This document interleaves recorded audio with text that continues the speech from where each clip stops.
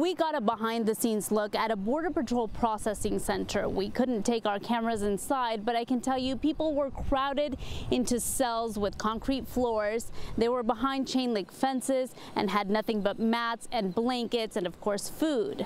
However, from that point, parents are charged with crimes. It's at that point that their children are separated from them and taken to facilities like this one. The sign reads, Welcome to Casa Padre, but after Senator Jeff Merkley of Oregon was turned away, the warehouse that now houses undocumented immigrant children has been the center of a hot debate. On Father's Day, Senator Merkley, Senator Chris Van Hollen, and other lawmakers returned for an official tour. They went from 500 kids here in April to almost 1,500 right now. There's uh, no place to put them. They're talking about uh, starting a tent city for children near El Paso.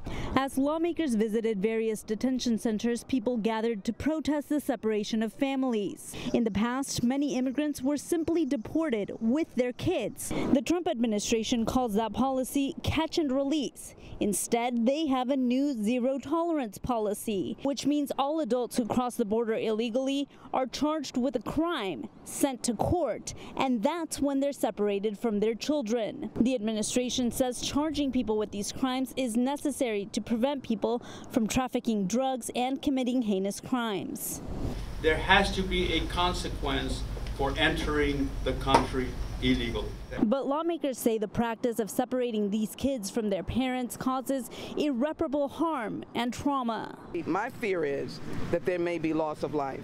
And the loss of life is children who can't be found. Senator Jeff Merkley of Oregon says in the first six weeks of the Trump administration's zero tolerance policy, 2,000 children were separated from their families. And since then, about another 1,000 children have been separated.